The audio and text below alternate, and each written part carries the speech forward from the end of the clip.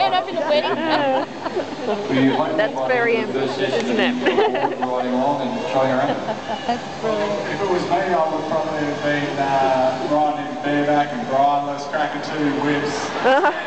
Good on ya. Because it's Dan James, he's a little bit slower.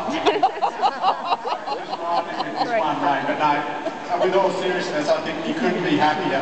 This horse is a beautiful horse. I reckon uh, between Dan and I tonight we'll be working up a plan to buy him and bring him back to the west. He's a beautiful horse.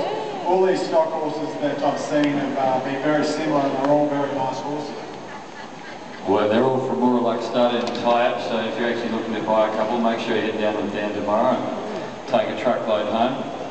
You two will uh, And your wedding just be dress. talking about your successes this afternoon. I'm pretty happy. Where can the girls find you tonight? That's a good question. We'll probably be going